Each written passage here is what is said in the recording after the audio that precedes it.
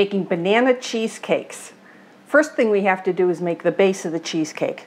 So what I'm using today are these four and a half inch round uh, little cheese, mini cheesecake pans with removable bottoms, or you can use an eight inch for making one big one, or you can make those little ones that are half this size. They're about two, three inches across, and they come in a pan of six. Uh, you can make those, and you can probably get eight of those out of this. So four of these, one big one, or eight of the small ones. And I'm going to spray these. That's just my guarantee that they will come out later. And the crust, in a large bowl, I've got one cup of graham cracker crumbs, three tablespoons of sugar, standard recipe for a graham cracker crumb, and three tablespoons of melted butter. Get those out of my way. Just now make sure you blend this up well.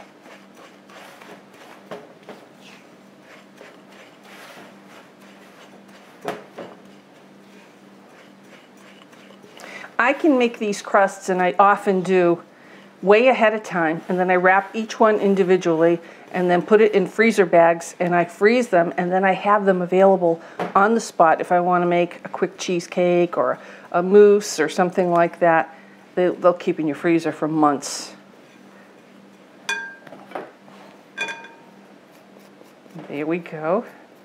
Now we'll put them in our cups.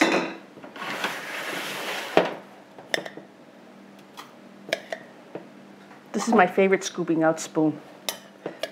I'm sure you have your favorite tools too. So they each get one big scoopy spoon and then a half. In other words, just divide this mixture evenly.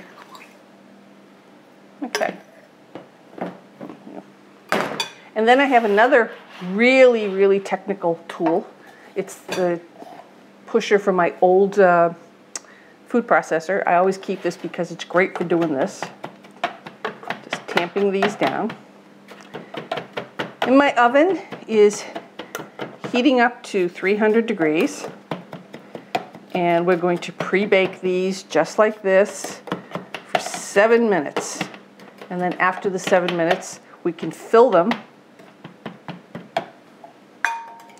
and we can bake our cheesecakes. So these are going in the oven seven minutes. Our cheesecake bases are out of the oven. I put them on a rack over there to cool, and now we'll make the filling. I left the oven on, but I turned it up to 350. So you may even hear a beep. So I've got three eight ounce packages of cream cheese at room temperature. As you can see, it's pretty soft. Put it on our mixer and get that going.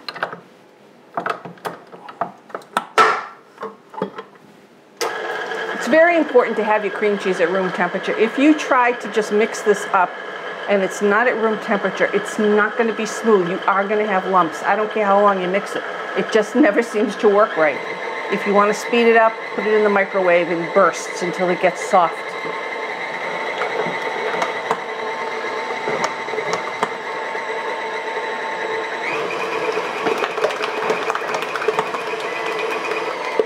All right. Now I have three quarters of a cup of sugar, and I'm going to add that gradually into the cream cheese.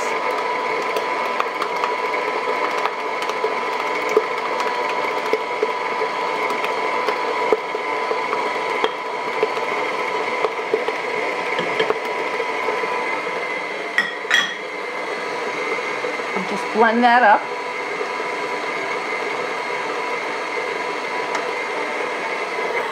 Okay. What I like to do from time to time, take it off the mixer and scrape down the sides because if you don't, then the bottom's getting mixed up and the sides are staying hard. This just helps blend it up a lot better. Okay. Now at this time, as long as I've got the mixer down, I'm going to take one banana that I put in my mini prep and I blended it. It doesn't have to be perfectly smooth. But, you know, as good as you can do. Come on, I want all that banana in there. Paid for the whole banana, I want the whole banana. And now I'll put in a teaspoon of my vanilla.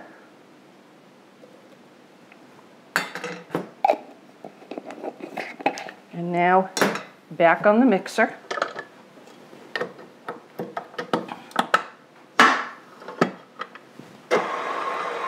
If you wanted a plain vanilla cheesecake, you could have just left out the banana.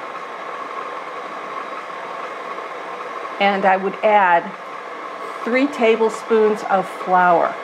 And that will give you a more of a New York style cheesecake, a little bit on the heavier side, which is the way I like it. All right, that's pretty blended. Now I'm going to put in my three eggs.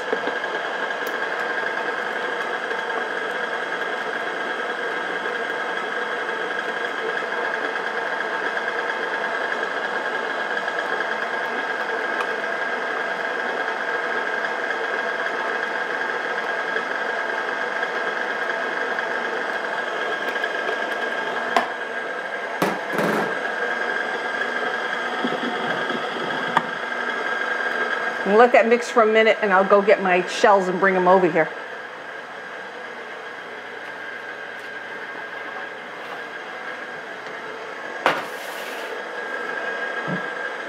I've got my famous favorite spoon again. Okay, that's, that's about pretty well blended. You don't want to over blend a cheesecake because the more you beat it up, the more you might get um, cracks. And I'm not baking this in a water bath, so. Now, filling them up.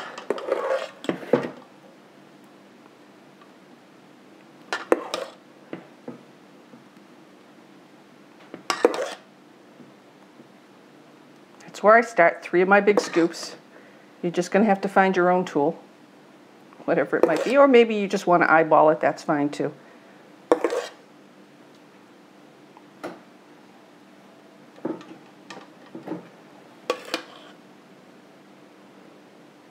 I put these in the oven, they're going to go in for about 30 to 35 minutes. And what you want to see is that they're mostly set, but there's going to be a little jiggle in the middle.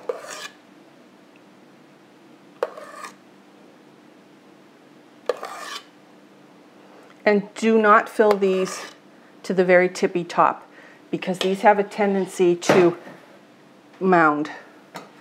So let's see here. We've got a little bit of a mess here. A little drip. Just clean those up. Just makes my life easier later cleaning. Okay. So into my oven, 350 degrees, 30 to 35 minutes so you have a little jiggle in the center. I've just taken the banana cheesecakes out of the oven. They were in there for 30 minutes. And when I picked them up, they had a little jiggle. That's been a couple of minutes since I took them out. So the jiggle is almost gone. And they were a little sunken in the middle and the sides came up. But as you can see, they've pretty well evened off because they settle down. This is perfect, exactly what you want. So now I'm just going to put them on a rack and I'm going to let them cool off completely. I'm to let them cool at room temperature for maybe 15, 20 minutes. Then I'm to put them in the refrigerator, except for one. I'm to put one in the freezer because I'm to show you something really cool that you can do with it later on. So we'll let them cool down and I'll be right back. Our banana cheesecakes are nicely cooled off. This is the one I put in the freezer. It's not completely frozen, it's just very cold, which is what I want to do to show you a little fun thing. Just running a knife around the edge to make sure it's loose. Take its little collar off. And then I like to remove it from the pan. Now, I like to cut this into five wedges.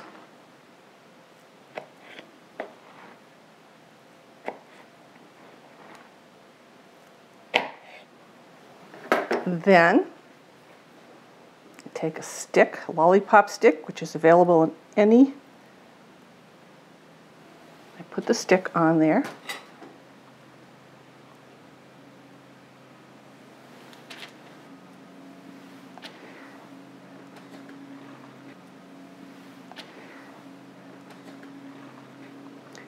Now, these will have to go back into the freezer. They really have to freeze on because if I try dipping them in chocolate right now, they are going to fall off this, the um, stick. So what I will do is I will put those in the freezer until they're rock solid. Then I will get some chocolate. And I use, use a container like this, which is deep and long, a glass. And then I dip them, let them drip off, and then put them in the refrigerator to set. And what you end up with is a cheesecake pop. And I like to serve these on a platter on their sides, a whole bunch of them in a row. You could do white chocolate, dark chocolate, milk chocolate, whichever one you like, and they really look spectacular on a tray. And let me tell you, people love these.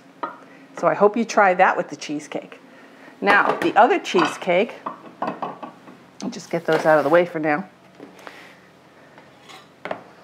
All I did there was refrigerate it. Again, a knife around the edge just to make sure it's going to come out nicely.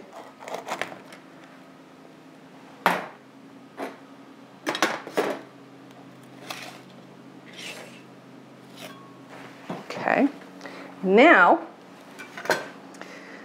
how big of a serving would you like? I'm going to cut these, I think, in fours. It's pretty rich, and that way nobody really feels like oh my God, I've eaten so much.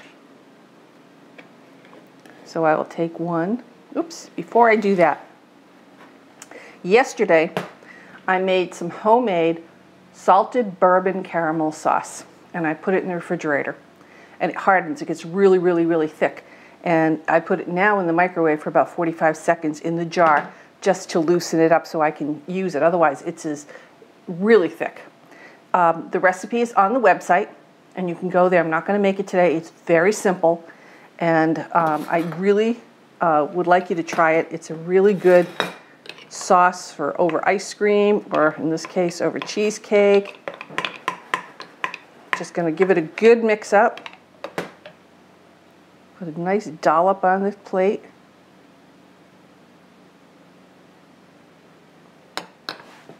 Put your little cheesecake on top and maybe just another drizzle. And that is a very lovely light dessert. And I say light because it's not a big piece of cheesecake. It's just a little piece of cheesecake. You don't feel as guilty, but you're getting the richness. So I hope you try these banana cheesecakes. They're absolutely wonderful.